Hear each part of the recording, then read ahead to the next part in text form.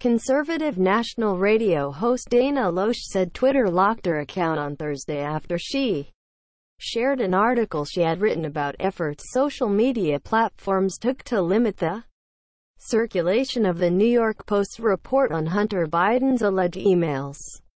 Loesch shared screenshots of the message she received from Twitter, which said her account was temporarily locked for violating rules against posting private information. Earlier Thursday, Loesch shared a link to her blog post entitled, Big Tech Declares Information War, which detailed the steps Facebook and Twitter took to limit the spread of the Post's report and subsequent scrutiny from conservative lawmakers.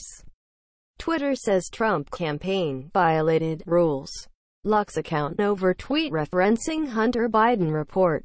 Note, Twitter isn't just locking accounts and blocking the sharing of Whitney posts hashtag Hunter R. Biden story. They're blocking sharing and locking accounts that share other entities' reporting and discussion of the hashtag Hunter R. Biden story. Their excuse to me, private info, is ridiculous, Loesch wrote on Twitter.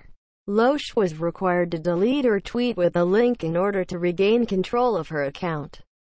Accounts that tweet the materials or links to the materials referenced here may be required to delete those tweets based on our policies on hacked materials and private and personal information, a Twitter spokesperson said in a statement.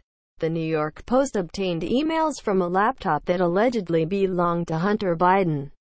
In one email, Vadym Pozharskyi, a top executive at Ukrainian energy firm Burisma, thanked Hunter Biden for giving an opportunity to meet with then Vice President Joe Biden. Less than a year after the meeting took place, Biden is accused of pressuring the Ukrainian government to fire a prosecutor who had launched an investigation into Burisma. Biden's campaign has consistently denied any wrongdoing related to Burisma. Trump, Republicans slam Twitter, Facebook blackout of Hunter Biden article. Facebook and Twitter faced criticism over their approach to the Biden story.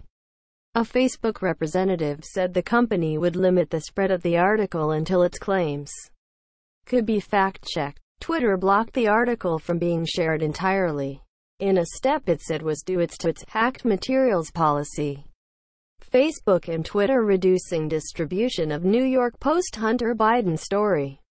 Twitter CEO Jack Dorsey later said the decision to block the article without providing clear context as to why the action was taken was unacceptable.